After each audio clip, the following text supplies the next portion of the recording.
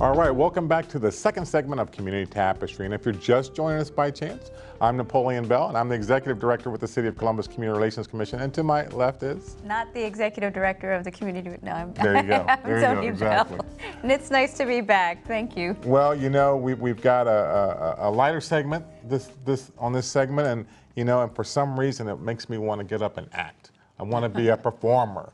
You know, I, You I'm feeling pretty, pretty good about myself. I've been practicing my little bit of singing to do the X Factor piece. Oh yeah, do you do the A E I O U R whoop? You do no, that? You I, I, I don't do exercise that. Okay. I don't do that. Whatever she was saying. But you know, face tight. a great thing about this though is that we're, we're going to be speaking with people, uh, some some young people, uh, should I say, that are part of the children's uh, Columbus Children's Theater, Mm-hmm. and have, are going to talk to us about how it happens and about you know, although I might be a little too old to get involved right now. Hey, are you young at heart? I am young then at heart. Then you are always Then we can we can do this. So we're going to find right. out more The about it. So Forever Young. let's start talking about Let's do it. the Let's do Columbus it. We've got two amazing people that we are going Yes. to introduce. Exactly. So let's let's get to it. To my left, I have the production manager of the Columbus Children's Theater, Mr. Chris Rusin. Thanks for having me. Great, glad to be here. And you know, a longtime friend, I would say, because he's been on the show, you know, at least 10, 15 times in the past.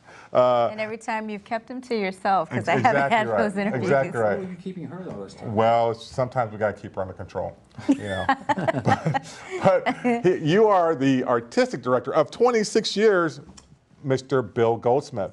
Yes, I've been there a while, and uh, it's been a pleasure every minute of it. Well, we, we want to find out about every minute of it because this is, I think, you know, one of those. Um, I, don't, Best I, don't say. I don't want to say best kept secret because people know about it, but we want to make sure that more people know about it and how they can get involved, especially with our young people Mm-hmm. nowadays. So let, let me just first, you know, go go to you, Bill, about really about tell us about the theater, how this all started, and, and, and who's getting engaged with this because it's, it's, it helps out a lot of young people. Okay, we- we're a very uh, we're a major institution. We're 51 years old. Started out as an academy, really. It's called Columbus Junior Theater of the Arts back then. In 1963, it was founded, and it was classes of varying all arts classes, art and dance and music, and and it evolved into a theater organization over the years.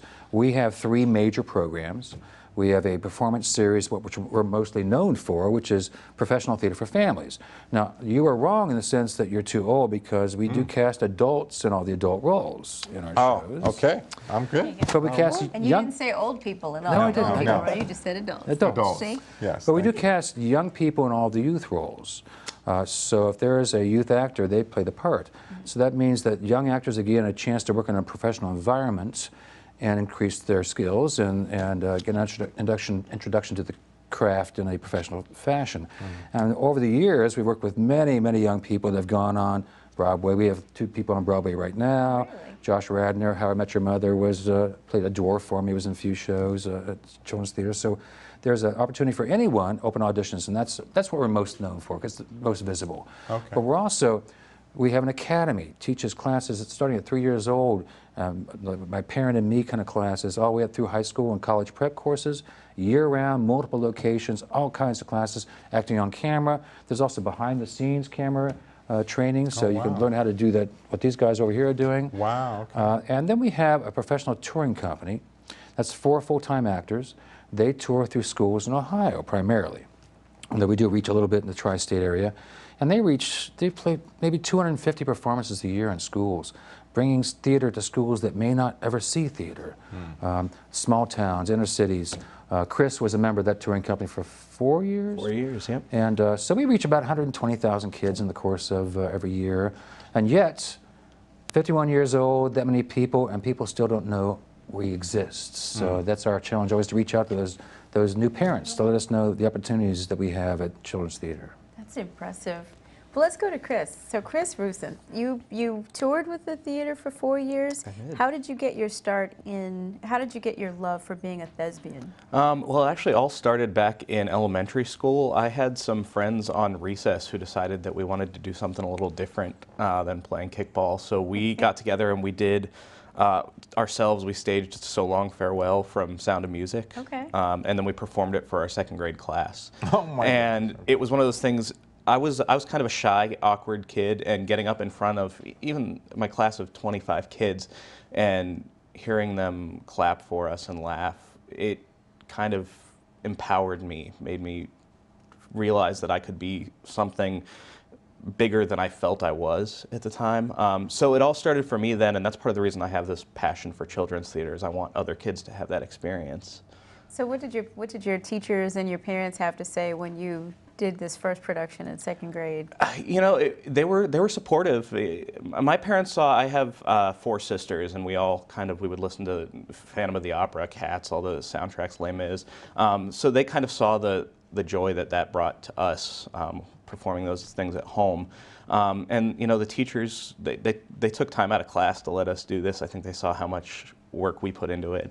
Um, and I wasn't lucky enough to have an organization like CCT around in the area where I grew up. So it was me and my friends, my family, doing these things. And Uh, what city did you grow up? I grew up in the Akron area, Fairlawn. Okay. So- Su- So you- Summit County. Yes. Oh, nice. So you like, you know, so growing up then you, this was kind of a natural piece for you. It wasn't that you were scared of being in front of people. You, you kind of liked the, uh, the, the attention and, and, and knew that, that kind of fed off of that. Because I hear several actors say they, or, or even comedians say that they really It's feed that. off of the crowd. Yeah, and it's one of those things I always tell our young actors that y- you're scared up until you get up there and you make your first mistake and you realize that the world didn't end. um, you make a mistake, you say, oh, they don't know what I'm supposed to be saying or doing right now. If I don't show them that I just messed up, you move on. And, and there's something empowering about that, too, to say little mistakes aren't the end of the world. Right. You learn from those things, you adapt, and you move on. So how do you think you're, a- this might be a, a, a much deeper question than we cared to ask, um, but how are you a better person um, because of your involvement with theater? Well, it a you form so many lifelong friendships um, in the arts. We were actually just talking earlier about what a small community the theater community is nationwide, really. Um, so I have you know friends now all over the country who I'm so close with because we've been through the trauma sometimes and the joy of, of putting together these pieces of art.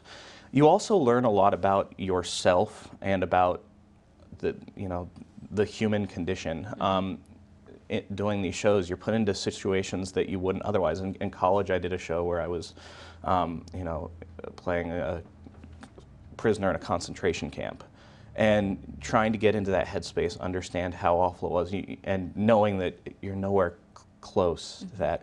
Um, exploring these various situations that people have been put in teaches you a lot about how how good you have it and and gives you a sort of empathy.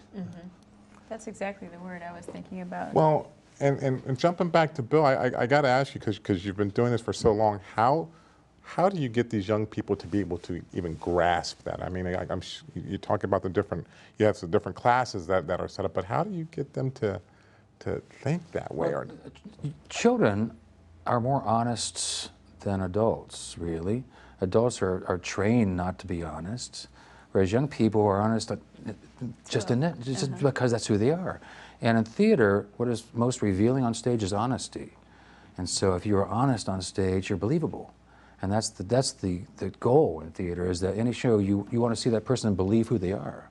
And then you're, you're enraptured and you're captured by that moment. And, and with the fact that we are playing to youth audience or family audiences, if a child sees a child on stage and they believe that child, and then they say, wow, maybe I could do that, you know, it empowers the audience as well.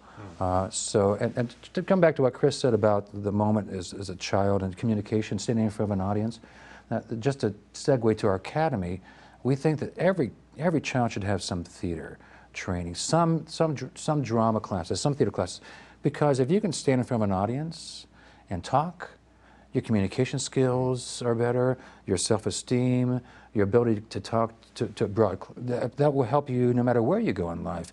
And that we think that's very important for every child to have, have the understanding and that appreciation of standing up there and being able to stay and speak your name in front of a crowd. A lot of people can't even do that.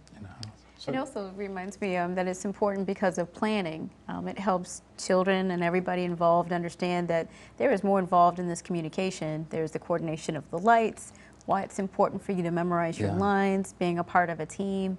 Um, so, so often the focus is athletics, when it comes to school. Right. Um, you ought to know because you're a big football player. Oh, Um, yeah. But for, for little people like me, I had the band and occasionally I had theater. I sucked, but I really appreciated I don't the believe it. opportunity. I don't believe it. I was much better uh, as part of the chorus or playing in the band.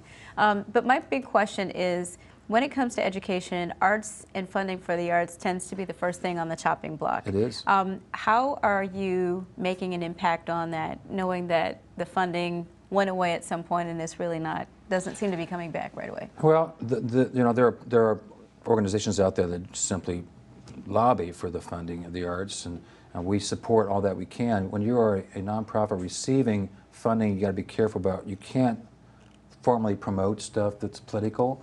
So it's your board that has to step up, and, and, and all your members step up. But you're right. It's the first thing that goes in the schools is the arts, and the first thing to go of the arts is theater, typically. Uh, ironically, theater has been shown to be perhaps the most beneficial because it empl- employs more levels of the brain, more activity, and more interaction. Uh, they've shown, matter of fact, they're out there, recruiters now in business world are, where I'm told, actually look for people with theater background because they think out of the box.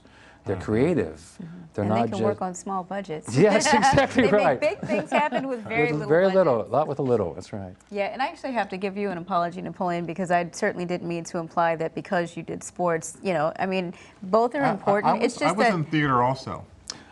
well, wanna- you act, you wanna hear more. Every Yeah.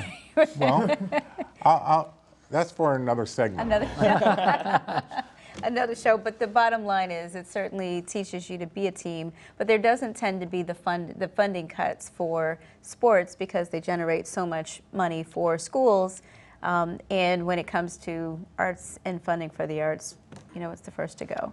Well, uh, well, let me shift gears here a little bit because I was, you know, I, I wanted to get, get to when you were talking about the young people and and their ability to get there on stage due to their, due to honesty.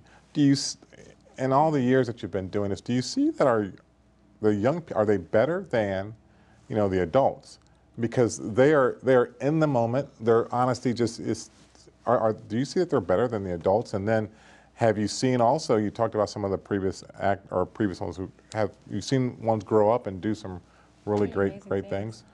Better than the adults, I would. Uh, sure, there's occasionally a, a, a youth actor that just blows everybody's socks off, mm-hmm. but that's not the norm because they're being trained. Mm-hmm. Uh, our goal is to let these young people work with, with trained actors and learn from them and grow from them.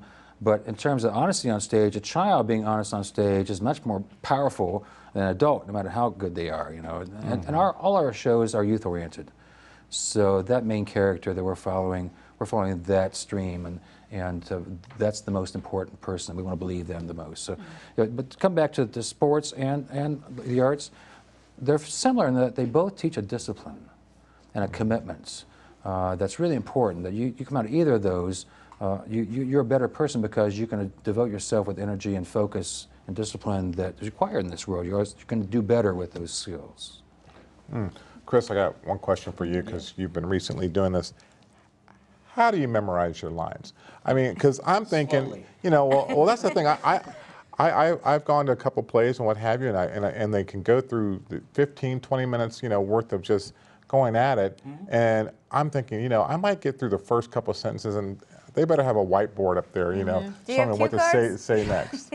Sometimes you need them. And, and, you know, it's, it's one of those things that, for me, it's changed a lot. When I was, and you see this with the young people, I, um, I directed a show last year, and uh, the kids had come in to pick up scripts the week before rehearsal started, and I had a couple kids that showed up memorized the first day of rehearsal. They are sponges. They absorb things so quickly. And I used to be that way, and as I've gotten older, it's uh, gotten tougher. Um, it's, it's, I couldn't even tell you. um, it, everybody has different methods. I always would always tell kids because when we were touring to schools, we do question and answer afterwards, and that was one of the most common questions you get from kids: is how do you remember all that stuff? And it's the same as kids in schools who are trying to memorize spelling lists or, or multiplication tables. It's it's practice, repetition. Um, you know, a lot of it happens in rehearsal. You're going over the scenes as you're trying to learn your blocking, where you're supposed to be. So that helps, um, but it's something you definitely have to pour time into outside of rehearsal as well. See. Sometimes That- you, that is would be my, my ultimate problem because you know I would be up there trying to memorize the lines and then if I forgot something you talked about about going for it, I would break out in a cold sweat and just fall out. I wouldn't be able to go on. Why- That that happens to every child. As soon as you walk on stage, you forget. Mm-hmm. People that are nervous doesn't matter. Mm-hmm. As soon as you walk out on stage or into, you've rehearsed that for six weeks. You know, you've got this so many times, you forget that you're nervous.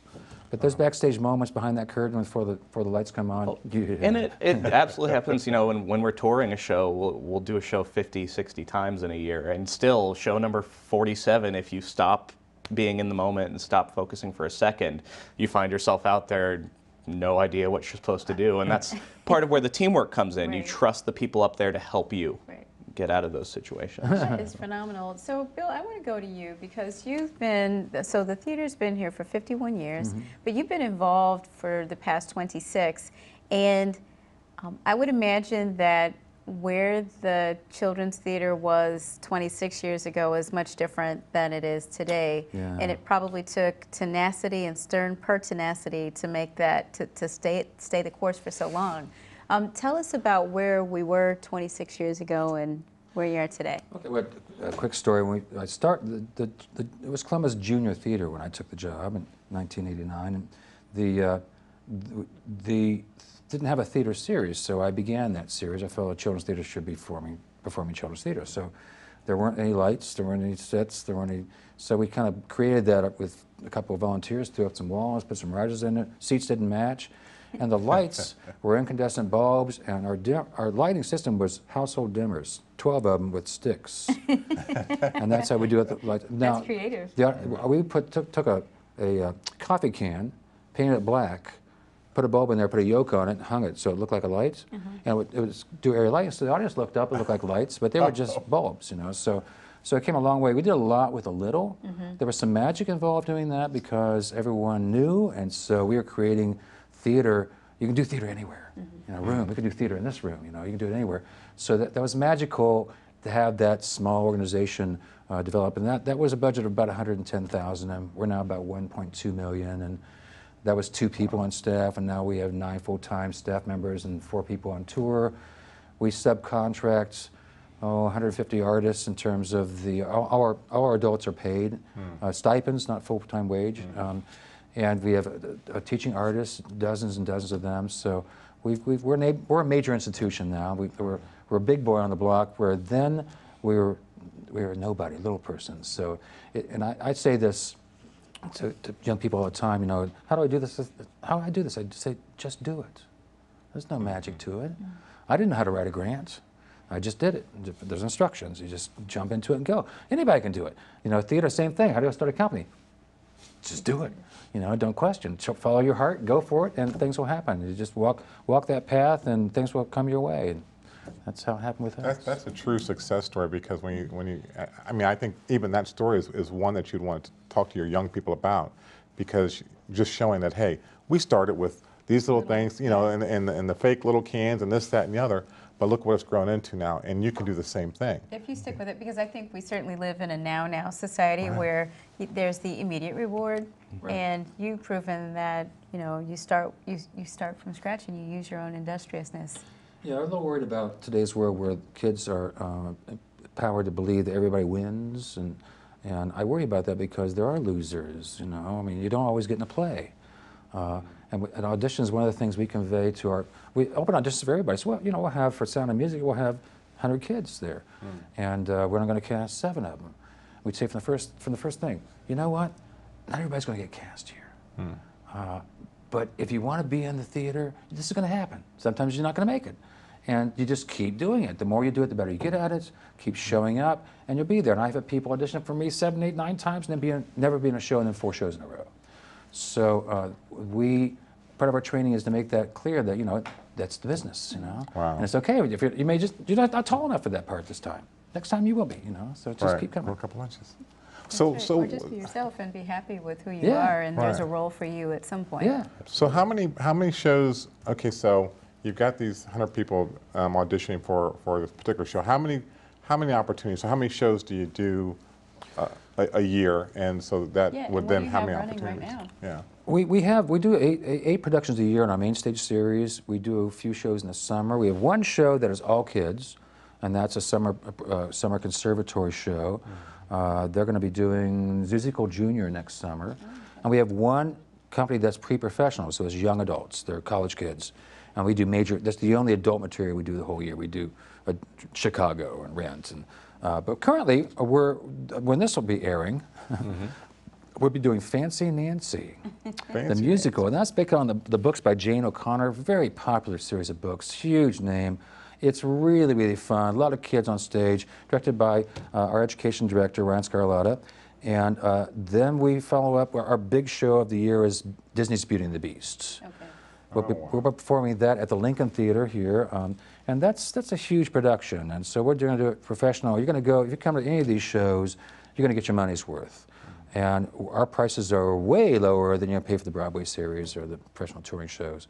So, but, uh, so and we in between there we have the Emperor's New Clothes to feature our, our professional touring company, which is very fun, and that's participation theater. So we drag people out of the audience to help tell the story, Oh, and nice. and it has Oh, a special Kristen, fun to Are you in this one? Uh, and then you in that one? No, I'm not. Okay.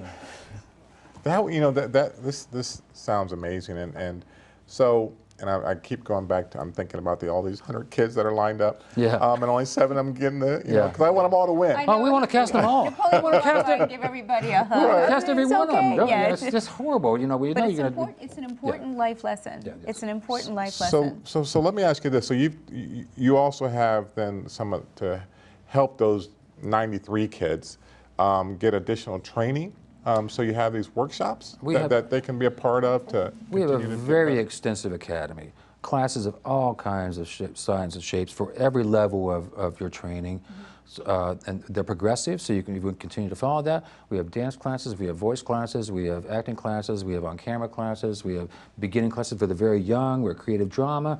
Where in, in the course of this class, these little kids, four, five, six years old, they create their own little play and performance within five weeks in front of an audience of family and friends, which is a win-win. How can they lose? You know, everybody let they come out with confidence and self-esteem and communication skills and, and partnering skills and being able to work with a diverse pe- group of people. It's all it's all very very fun stuff. And I have to say, I'm a, on a personal note, I am a fan of the theater because um, my children, we read The Secret Garden, and then you had the play. Um, so it just, seeing what you read come to life on stage Yeah. Is very different from even reading it and then going to see the movie. It's a very different experience. And the same when Stuart Little was coming out, we Mm. read the book, you had the play, we came to see the play, and then we got to see the movie. So in that case, we got the whole trifecta of a really good experience. But it makes it makes what you read come to life. Um, do you? that- that's one of the coolest things about you know the touring company in particular. They go out all over the state, and so a lot of places you go to, it's a small town, and that's the only opportunity these kids have to see live theater. You get questions afterwards of you know when you guys were doing this thing in the movie. I was it's like no no, we're uh, we've got I've got the question before like are you guys real? and just a chance for them to see something that they would never have an opportunity to see. And the the reactions you get from the kids are so genuine. Um, I always uh, tell people I love performing for kids because there's nothing better than the laughter of 400 kids, and there's nothing more painful than the silence. so, i- i- being able to, to bring our message not just to the kids in, in Central Ohio, but also all over the state. That's amazing. So where do you see yourself in the next five years? Oh man. Broadway or no? Br- Yeah, Broadway's never been my aspiration. I, I, I love children's theater. Um, you know, I, I'm fortunate enough that where I am, I'm, I'm being able to learn so many things. Um, but I, I've always said I want to be an artistic director for a children's theater one day. So Well, well, let me ask you this. So, as production manager, just so for us lay people, What's the what, what, yeah, what's the difference, production manager and artistic director? What's, what's, Well, uh, my job is kind of to do whatever it takes to make sure our shows happen on time, on budget, and are the best that they can be artistically. So, you know, on any given day, that could mean one of dozens of things, whether it's I'm helping with the lighting, or challenging challenges we're having, um, keeping our costumes and props organized, um, and helping Bill with whatever needs to be done to, to make the shows as good as they can be. That's really great. And, and one of our last artistic, yeah. questions- one of the last questions I have for you, Bill, um, and I'm sorry I got so Yeah, excited. cut me off. I cut you off. And what's There your we go. question? I'm, re- Sorry. I'm really more interested in the tenacity of 26 years. Why do you do what you do? Oh boy, um, I, I just love it. You know, it's a job. I mean, so many people. Now I have colleagues, friends that are making four times what I make. You know, And I, I, I tried once to go out and make money. I was in sales, made, made about four times what I'm making now. Well, I hated it. you happy with I hated it. No, I hated it. I, but I, I, I tell people that, you know, that if you're doing something you love and you spend the majority of your, your life doing work, if you're not doing something you love, then aren't you kind of kidding yourself? Uh, you're, you're spending all that time with something you don't like. Uh, money is not going to make you happy. Uh, so I'm doing what I like to do, and, and uh, I have the opportunity to work with young people and watch them grow and offer something positive to their lives and to families. And, and how could I ask for something more than that? It's, it's, uh, it's, a, it's, a, it's a gift. It's a pleasure. Well, I think in, in what you both do continues to live on, because you know, as as as we were in school, we you know you'd say that that favorite teacher that you had, or that one that made that Yeah. impression. So you are those two teachers that are making those positive impressions on all these young people. That as you get older and as they get older, they're gonna- they're, they will remember both of you. And so I, I think that's where you know the fulfillment comes from. Sweet. Yeah, definitely. Before we leave, can we give uh, contact information? Absolutely. Yes, yes. How do we get a hold? How Oh, do they great. get a hold of you? When I come to do my auditions, I want to know where I got to go. Okay. Well, you can find out about everything about the organization by going to columbuschildrenstheater.org or just Google Columbus Children's Theater and it'll come up. On there, you can find information on auditions. You can sign up and get a, mail, a contact email, say when there's an audition that's appropriate for your age.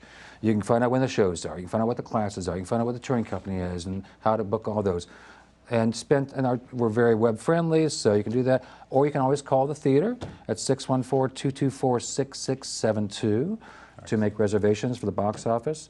Uh, one other thing we'd like to mention is we do one event a year that is unique in terms of the arts organization. We do a kid-friendly fundraiser. It's called the Fairytale Ball and Royal Feast.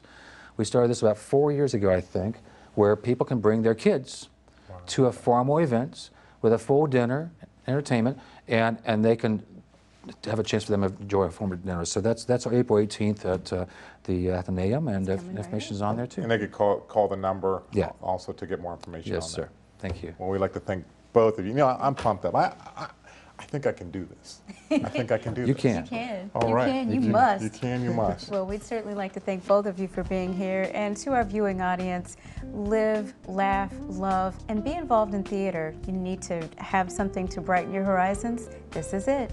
This is definitely it. So, also, if you want to find out more information about our office, you can give me a call at 645 1993 or check out our website at www.crc.columbus.gov. And also, we're on Facebook at Columbus Community Relations Commission. So, once again, thanks both Thank of you, thank both of you. And you'll Thanks, be seeing seeing me on the stage Right. very soon. right? All right. Have a great week and take care.